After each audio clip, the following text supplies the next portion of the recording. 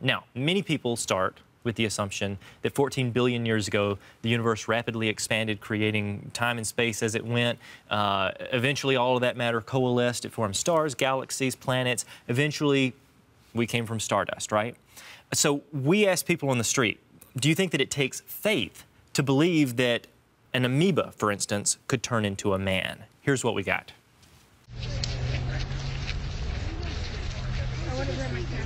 I don't know if I can answer that question. I think it's faith and science. I mean, because you can, I mean, if you're in a laboratory, you can see cells grow from experiments. So, no, you life begins at conception, and you have a baby in nine months. So, after these days, anything is possible. Um, especially with, I mean, we've seen like different kind of animals from out of nowhere in the sea. So I think if we could see like a little, uh, little thing turn to like a human being, especially with the genetics, I think it's really, I think it could be possible. Well, no, I mean, I think uh, there's two little particles, one in a woman, one in a man, and all of a sudden a baby's made, and I think that sounds pretty accurate to me. It does take faith to believe that. It really does. I think it would probably take some persistence uh, to watch different phenomena occur over time to test your hypothesis. Um, but I'm not necessarily sure that faith is a part of that equation. Faith and a lot of praying and perhaps a miracle, yeah. Yeah. I do.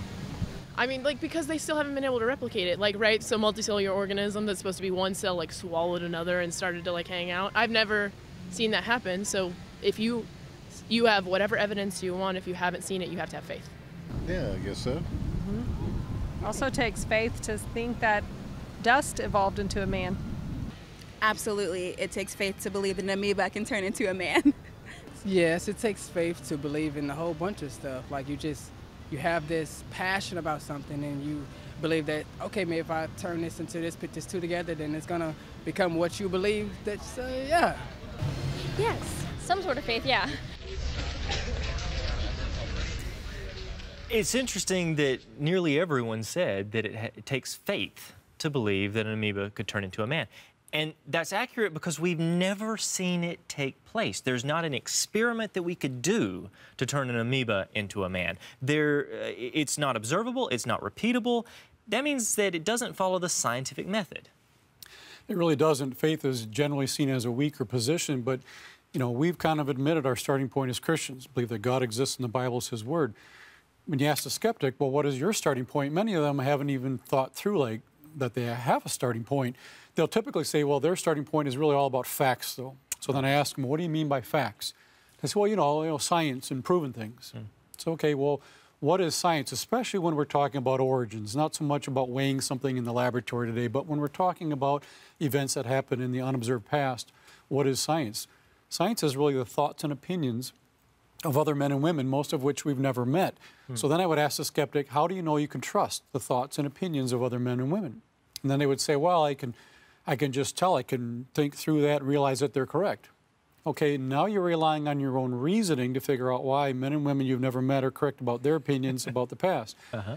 Then I ask them, how do you know you can trust your reasoning?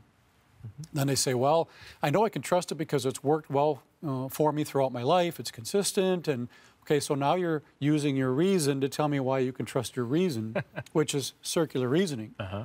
At that point, I say, you know what, but, but that's okay because everyone has to start somewhere. Yeah. I just wanted you to realize you're ultimately not so much about facts. You assume you can trust your own reasoning even though you can't prove that. That's your starting point.